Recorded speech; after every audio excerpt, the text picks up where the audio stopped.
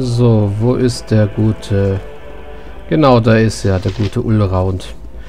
Wir erinnern uns an den Traum von Anfang der Aufnahmesession, wo er uns verhüllt hat. Wer stört mich? Was führt euch hierher, Kind des? Ich bin sehr beschäftigt und muss euch bitten, euren Besuch andermal abzustatten. Okay.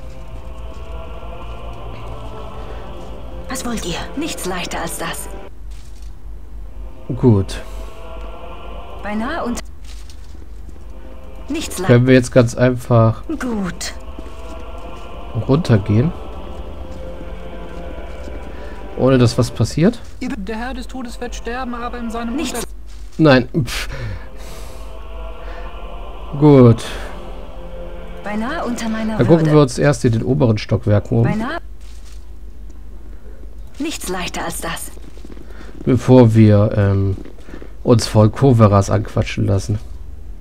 Beinahe unter... Beinahe unter meiner Würde. Beziehungsweise wir schicken dann am besten einfach Immo hin in den ersten Stock. Und dann werden wir weitersehen. Das erste Mal sind hier Privatgemächer. Das ist der fünfte Beinahe Stock. Also haben also den fünften, den vierten, den dritten, den zweiten und den ersten Stock zum Untersuchen. Gut, hier haben wir Gorions Zimmer. Ein Brief an mich, den wir gleich lesen können. Ach ja, weil die eine ihr Buch nicht mehr haben will, kriegt das mal Khaled. äh, Minsk. Auch wenn sie nicht viel bringt, da wahrscheinlich zum Lesen. Na gut, lesen kann er wahrscheinlich, aber er kann es nicht verstehen, was da drin steht. Okay, der Rest scheint verschlossen zu Unsere sein. Bibliothek ist der Harem des Wissens der Menschheit. Wenn ihr die Schriftrolle haben, habt, solltet ihr mit Tetrue sprechen. Er wartet oben auf euch. Ah, diese Schriftrolle. Liebe Talisa, wenn du diese Zeilen liest, wird mich bereits ein frühzeitiger Tod ereilt. Ich möchte dich bitten, nicht um mich zu trauern, doch der Gedanke, dass du es dennoch tust, erwärmt mein Herz. Ah, Gorion war ein sehr netter Mann. In diesem Brief stehen Dinge, die ich dir vielleicht schon erzählt habe. Wenn mein Tod jedoch zu früh gekommen ist, hätte ich nie mehr die Gelegenheit gehabt, sie dir zu erzählen. Als erstes muss ich dir sagen, dass ich nicht dein leiblicher Vater bin, denn diese Ehre steht einem gewissen Baal zu. Der Baal, von dem ich spreche, ist derjenige, den du als Gottheit kennst, den du als Gottheit kennst. In einer Zeit der Krise, bekannt unter dem Namen Zeit der Unruhen, manche sagen auch Zeit der Sorgen, als die Götter durch Verun wanderten, musste auch Baal eine in eine sterbliche Hülle schlüpfen. Durch irgendetwas wurde er gewarnt, dass er sterben müsste. Aus mir unbekannten Gründen suchte er sich Frauen jeder Rasse aus und nahm sie sich. Deine Mutter war eine dieser Frauen, und wie du weißt, verstarb sie bei deiner Geburt. Ich, ich war ihr Freund und er ist auch ihr Liebhaber. Das wollte ich jetzt nicht unbedingt wissen. Wobei das vielleicht etwas ähm, schlecht ausgedrückt ist. Also wahrscheinlich waren die beiden ein Pärchen. Also fühlte ich mich verpflichtet, dich als mein eigenes Kind aufzuziehen. Ich habe dich immer als mein Kind angesehen. Und ich hoffe, du siehst mich immer noch als deinen Vater an. Du bist ein besonderes Kind, das Blut der Götter fließt in deinen Adern. Wenn du von unserer großen Bibliothek Gebrauch machst, wirst du herausfinden, dass Alandos Stammvater viele Prophezeiungen über das Kommen der Nachfahren Baals getroffen hat. Es gibt viele, die dich zu ihren eigenen Zwecken missbrauchen wollen. Die größte Gefahr verbirgt sich hinter einem Mann namens Sarevok.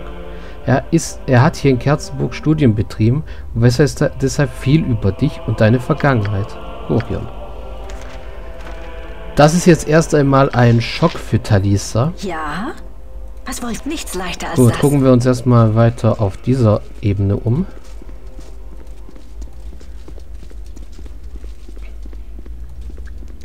Talisa ist also die Tochter von Baal.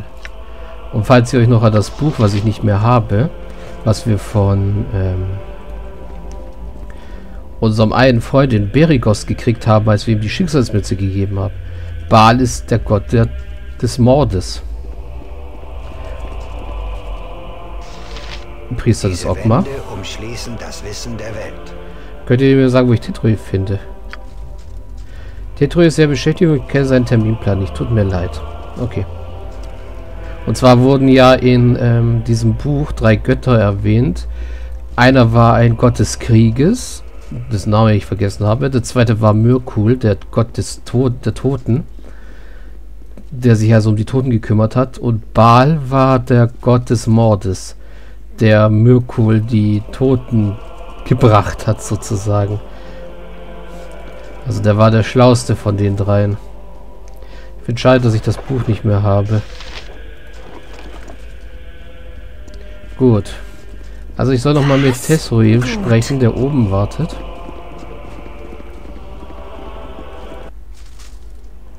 Ja, beinahe unter meiner Jetzt, wo ich die. Schriftrolle Ich bin habe. sehr stolz auf euch. Und Gorein ist es bestimmt auch. Ich bin sehr stolz auf euch. Der sagt aber nichts mehr zu uns. Was wollt ihr? Beinahe unter... Gut, Gut. da haben wir uns umgeschaut. Nichts leichter als das. Dann können wir uns hier mal umgucken. Das ist nur ein Ogma-Priester wieder. Du, da siehst aber interessant aus in deiner Lieder. Ah, Schistal, von dem haben wir schon gehört. Von dem hat uns einer der anderen Mönche gewarnt. Der immer so nervös war und sich nun verändert haben soll. Kann ich euch behilflich sein? Also vermuten wir mal einen, Doppel einen Doppelgänger hinter ihm. Dann wechselt Kalida schon mal die Waffe. mich. Lass mich in Ruhe, Fremder, ich habe viel zu tun. Erkennt ihr mich nicht? Ich bin Talisa. Hm, aber sicher. Talisa, ich habe euer Gesicht nicht wiedererkannt. Tut mir leid. Ich hoffe, dass eure Reisen angenehm waren. Im Mantelwald kann es zu dieser Jahreszeit ziemlich kalt werden. Entschuldigt mich jetzt bitte, ich muss gehen. Äh, woher wisst ihr, dass ich in den Mantelwald gezogen war? Ah, ich habe in der Gegend Verwandte. Die haben wohl gesehen, haben euch wohl gesehen und mir eine Nachricht über eure Fortschritte gesandt. Aber Schestal, ihr habt noch nie eine Familie erwähnt. Wir haben uns auseinandergelebt und ich sehe und, und sehen uns nur selten. Ihr hättet das nicht zu erwähnen brauchen. Ich muss jetzt wirklich gehen. Ich habe im Moment einiges zu tun. Ich glaube, ihr lügt mich an, Schistal. Ihr seid nicht mehr der Mann, den ich kannte. Ich kann euch nur raten, mich in Ruhe zu lassen. Dieses Spielchen wird mir nämlich langsam langweilig. Nehmt eure Fragen und verschwindet, Affe. Okay. Er wird aggressiv. Oh nein, ich habe noch viele Fragen. Die erste, wer seid ihr wirklich? Ich bin euer Tod, törichtes Fleisch. Ja? Okay, da haben wir einen großen Doppelgänger.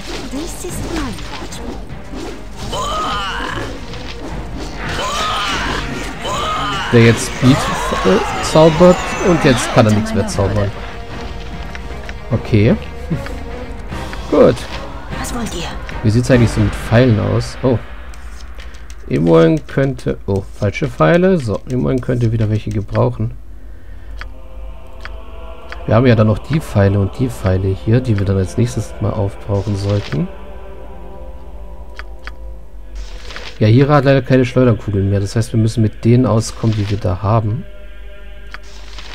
Was? Beinahe unter meiner Würde. Gut, wir haben gerade einen großen Doppelgänger hier in den, im Hause enttarnt. Ja, nichts leichter als das.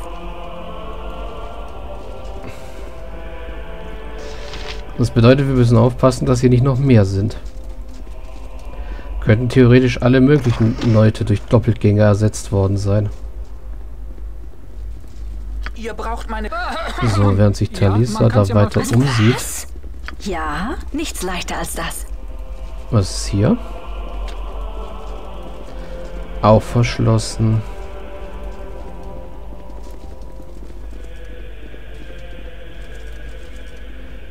Da oben ist wieder ein Mönch, der nicht wie ein Ogma-Priester aussieht. Ein- Entschuldigt mich, ein Gelehrter. zu spät zu meinem Unterricht. Hm, oh, entschuldigt mich, wie ich euch nicht be beachtet haben sollte, aber ich bin gerade ziemlich beschäftigt. Okay. Hier sind nur ein paar wertlose Magie-Schriftrollen und die, ja, die sammle ich nicht ein. Wir haben nämlich genug Gold. Geschichte Fürsten. Hm. Ich suche eigentlich hauptsächlich dieses Buch des Vergessens, wobei ich nicht, immer noch nicht daran glaube, dass es existiert.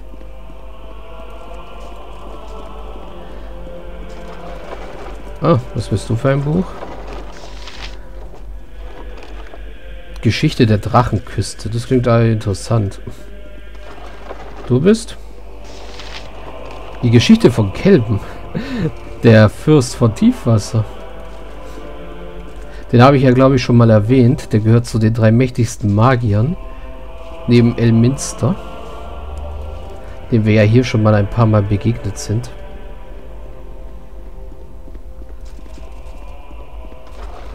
Äh, was ist da drin? Geschichte des Mondsees. Das brauchen wir auch nicht. Das Buch, da ist verschlossen.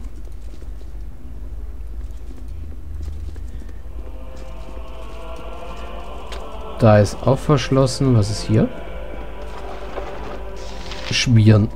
Warum auch immer da ein Schwein abgebildet ist. Jedenfalls sieht es aus wie ein Schwein. Irgendwie fast schon ein bisschen diskriminiert. Und hier ist nur ein Bett und ein Nachttisch. Okay. Das war der ähm, fünfte. Nee, das war der vierte Stock. Was wollt nichts leichter als das?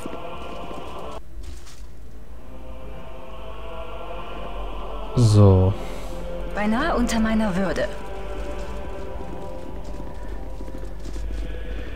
Okay, jetzt haben wir hier den dritten Stock. Ich glaube, im dritten Gut. Stock sollten sich die, ähm, die Anführer des Eisenthrons aufhalten. Also sollten wir hier ganz vorsichtig sein. Die Geschichte, die... Die Geschichte des Schattentals, die fürstlose Zeit. Na, das brauchen wir nicht unbedingt. Ich suche eigentlich das Buch des Vergessens. Die Geschichte Dust. Wer auch immer das ist. Also ja, es gibt verdammt viel äh, Hintergrundstory und so weiter. Das ist eigentlich ziemlich klasse gemacht. Gelehrter. Mal wieder einer. Geschichte, neuere. Nö, brauchen wir auch nicht wirklich. Für dein Geschwafel habe ich keine Zeit hier, ne? Ähm, das wollte ich jetzt eigentlich nicht. Meine lieben Freunde, wie man schon sagt, erkennt man den wahren Gentleman an seinen Manieren. Wenn ihr beweisen wollt, dass ihr ein Gentleman seid, dann verschwindet lieber. Nur wenige Leute können es sich wirklich leisten, ausfallend zu werden. Ihr gehört nicht zu dieser Sorte. Geht bevor es zu spät ist und mein äußerst reizbarer Gefährte Brunners die Geduld verliert. Ihr seid die Anführer des Eisenthrons. Wir sind diejenigen, die euch in den letzten Wochen so viel Ärger gemacht, bereitet haben.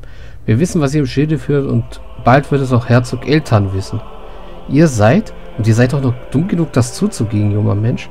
Ihr findet vielleicht in der Bibliothek sicheren Unterschlupf, aber sobald ihr dieses verlasst, gibt es keinen sicheren Ort, an den ihr fliehen könnt.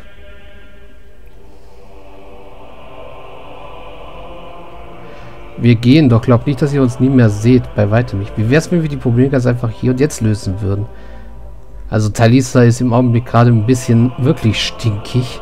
Hier sind die Leute, die für die ganze Scheiße, in der sie steckt, verantwortlich ist. Also lassen wir unsere Waffen entscheiden. Das ist im höchsten Maße abscheulich. Mit euren starken Sprüchen wollt ihr doch nur darüber hinwegtäuschen, wie schwach ihr in Wirklichkeit seid. Selbst wenn ihr uns in diesem Kampf besiegen würdet, wie denkt ihr wohl, würdet ihr aus der Burg kommen? Oder glaubt ihr vielleicht, die Mönche würden tadellos zusehen, wie ihr alle in dieser Festung tötet? Macht Kleisterholz aus ihnen, Jungs. Ja, beinahe unter Okay. Würde. Talisa flieht erstmal. Äh, fliehen. Fliehen, fliehen, fliehen. Was wollt ihr? Ich will mich nämlich eigentlich nicht mit denen anlegen. Der Herr des Todes wird sterben, Oh, hallo. Untergang wird seine tödliche Nachkommenschaft gezüchtet. Ah, ich dachte, dass ich euch hier irgendwo finden würde. Gestattet mich, dass ich mich vorstelle. aber- aber, Weise Alan, du. Aber bitte doch. Ich heiße Kovaras, aber früher, ah, ich habe früher für meinen Vater gearbeitet und seinen Hafnerfreunden in Tiefwasser Nachrichten überbracht. Vor seinem Tod vertraute er mir diesen Ring an und bat mich, ihn euch zu geben, wenn ihr jemals, wenn jemals etwas stoßen sollte. Nehmt ihr ihn an? Äh, und welches Unglück befiel ihn Kovaras? Ihr wart dort, ihr habt alles gesehen. Eine Frau, eine bewaffnete Gestalt und zwei keulenschwingende Oger. Aber Gorions lächerliche Magie, der beleidigt gerade unseren Vater, hat ein wenig gegen sie, hat wenig gegen sie genützt, oder? Und ihr seid mit eingezogenem Schwanz weggelaufen und habt euch bis zum Tagesanbruch im Wald versteckt. Und jetzt ist es, ist es soweit, oder? Der Eisenthron ist zum Greifen nah und ihr könnt Rache für diese Nacht nehmen.